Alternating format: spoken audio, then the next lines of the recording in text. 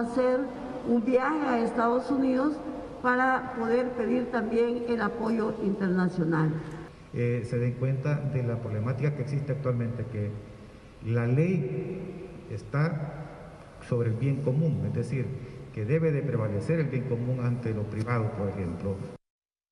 Pero hay en las arcas del Ministerio de Hacienda, voluntad de darlo es otra cosa.